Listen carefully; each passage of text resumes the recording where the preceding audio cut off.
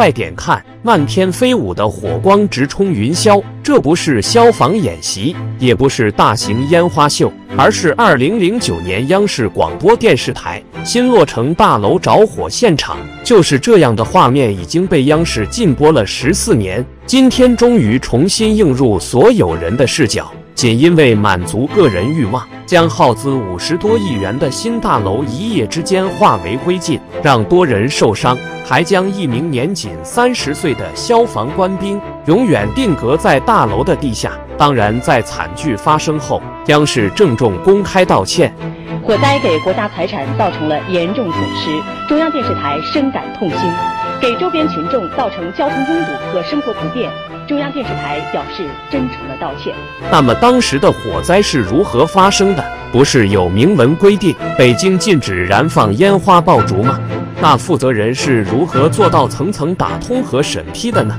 点个关注，点个赞，我们接着往下看。在二零零九年的元宵节，因为庆祝央视大楼的落成，于是领导层决定在周围一圈燃放烟花庆祝。但是没想到的是，此举让大楼在一场大火中化为乌有。而后续的后果是，除了十六亿元的经济损失，多名消防员受伤，一名消防员不幸遇难。当年的二月九号晚上八点，中央电视台北侧的大楼突发巨大火灾，而起因就是一场所谓的烟花表演。而火灾的主体建筑物中央总部大楼位于北京市中心，占地面积为五十五万平方米。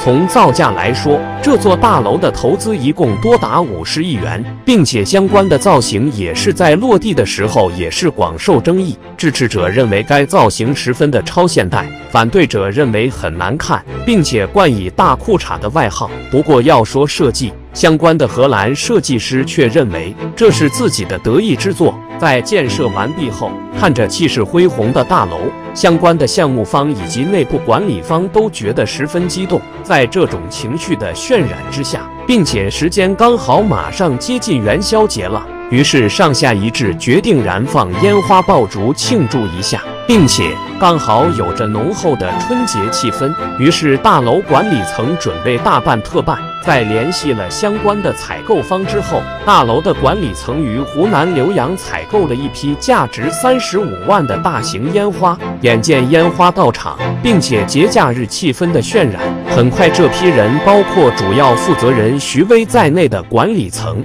把北京市需要燃放大型烟花的需要。提前向市政府申请的规定给抛在脑后。当时中央电视台也下发过相关的通知，明确表示在中央电视台范围内的区域都是禁放区。但是明知山有虎，徐威还是选择向虎山行。当然，徐威自然也不会想到自己的一时情绪激动能带来如此意想不到的后果。在把如此规模的烟花爆竹搬到大楼附近后，很快央视大楼的天空中就呈现了各种五彩缤纷的烟花雨。因为动静大，这场烟花秀甚至吸引了不少周围的人来到现场观看。在震耳的声音中，现场的气氛很快就被点燃。但是就在这种一片祥和的氛围之中，谁也没想到。一场滔天祸事很快就在众人眼前，因为持续的燃放，有一枚礼花的高温碎屑掉到了堆放在顶楼的保温材料中，并且因为北京的气候关系，火势迅速蔓延开来，这座刚刚竣工的大楼立马火光冲天，陷入一片火海。接到警情后，北京消防出动十六个中队、几百名官兵来到现场展开救援。北京市委的相关负责人也来到现场指挥。来到现场后，消防队立马组织救火和救人。因为楼高一百五十九米，这场救援行动困难重重，一直在六个小时的奋战后，这场冲天大火才被扑灭。新落成的大楼也面目全非。根据事后进一步的统计，大楼内部多处坍塌，过烟过火面积分别达到了八千多和两万多平方米。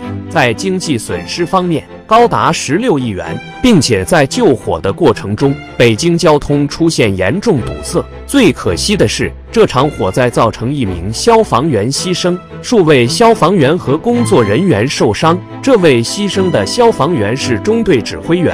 名字叫张建勇，年仅三十岁。因为在施救的过程，把自己的呼吸器给了被困人员，导致现在火灾现场。张建勇吸收了大量火灾导致的毒烟毒物。虽然在事后，医院方面组织了全力的抢救，但是还是没能阻止这条年轻生命的离世。在一次不经意之间的烟花秀，却导致了一栋崭新的大楼被毁掉，数人在其中的过程之中产生伤亡。那么，主要的牵头人肯定是跑不掉的。很快。针对这起严重的火灾事故，北京方面的警方立马展开了调查。在调查中，警方发现这一次的烟花表演并没有经过任何层面的审查审批，因为主要负责人徐威的个人想法和念头，以及违反规定展开的烟花秀，导致央视北配楼被烧毁。从社会面和经济面来考虑，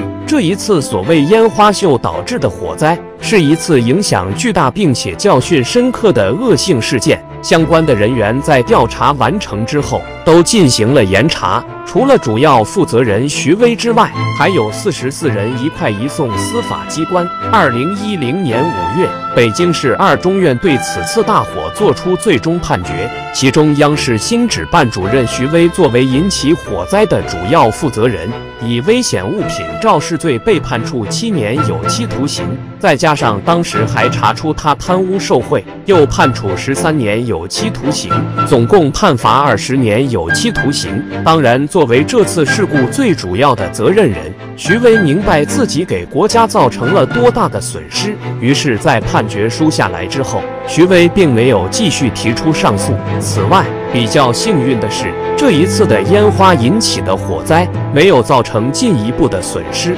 因为在这种高楼云集的地方燃放烟花，除了发生火灾之后，救援层面十分的困难之外，更危险的是，一旦火灾在整座大楼蔓延开来，里面的人逃生困难之外，一旦大楼的框架遭到火灾的强烈影响，就会发生倒塌，那后果更是不能想象的。而作为北京的这一次所谓的烟花表演，在周围的人过足了眼瘾之后。背后却是血淋淋的教训，十几个原本幸福美满的家庭变得支离破碎。虽然主要责任人遭到了处罚，但是失去的生命也永远沉睡在大楼地下。那么，你认为对负责人的处罚应该吗？